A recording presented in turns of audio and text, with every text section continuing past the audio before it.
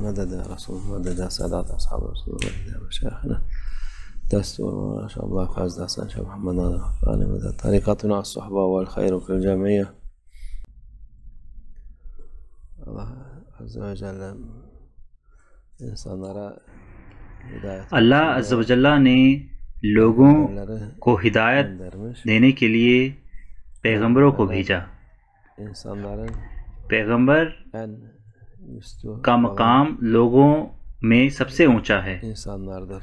वो अल्लाह के महबूब बंदे हैं।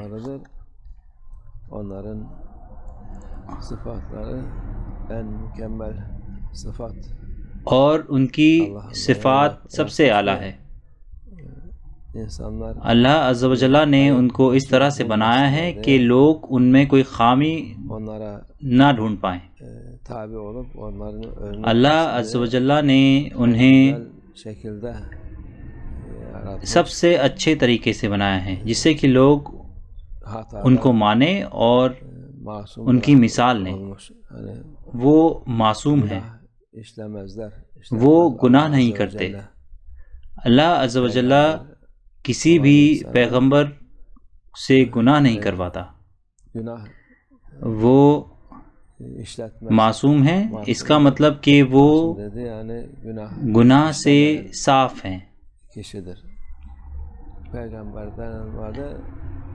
हर किसी की बड़ी या छोटी खामी होती है गलतियाँ होती हैं और गुनाह होते हैं सिवाय पैगम्बरों के और अल्लाह की नज़रों में पैगंबर सबसे ऊँचे मकाम पर हैं।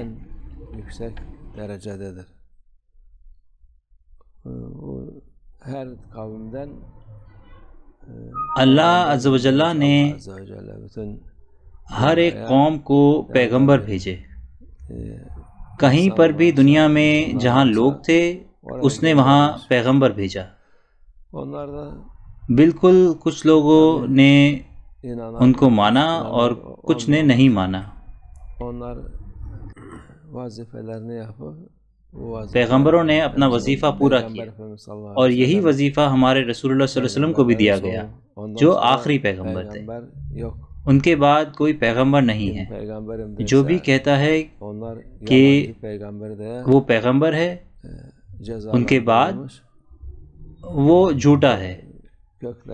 उसको सजा मिली है झूठा पैगंबर होने की।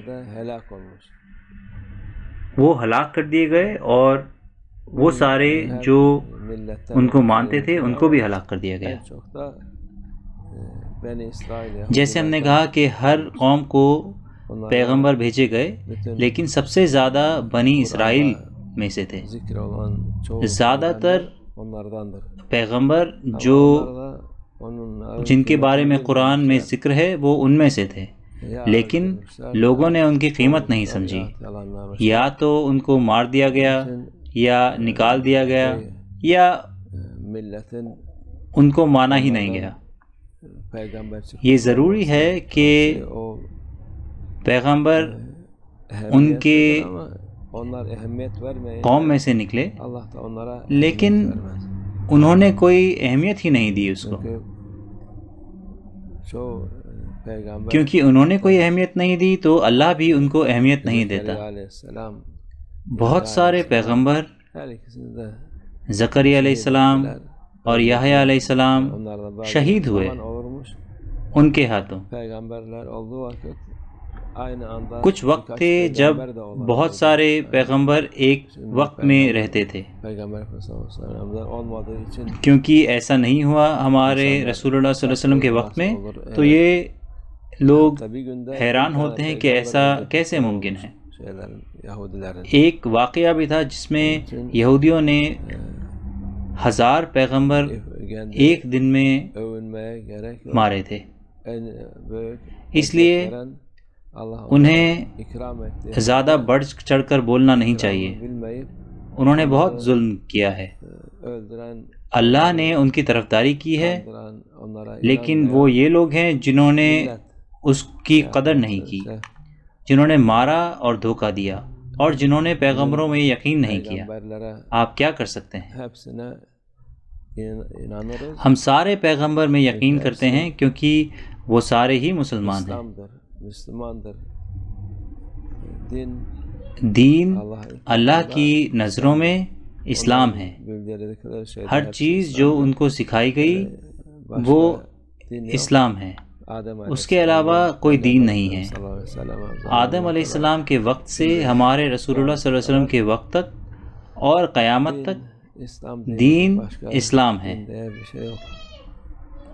ऐसा कुछ नहीं है कि कोई दूसरा दीन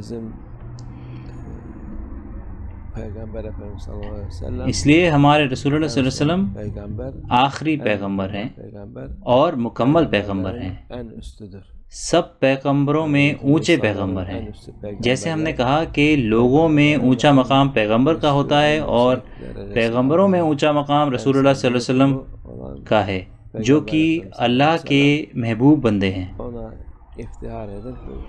ये हमारे लिए एहतराम की बात है कि हम उनके ताबे हों और उनकी बात को माने.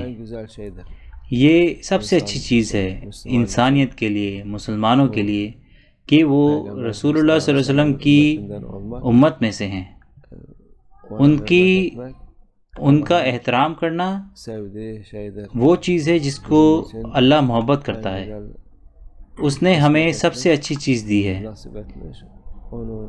हमें. इसकी कदर करनी चाहिए. हमें हमेशा शुक्र करना चाहिए दुनिया की हाल को देखकर शिकायत नहीं करनी चाहिए हमें अल्लाह का शुक्र करना चाहिए कि उसने हमें रिस्क दिया रसूलुल्लाह सल्लल्लाहु अलैहि वसल्लम की बरकत से अल्लाह इसको बाकी रखे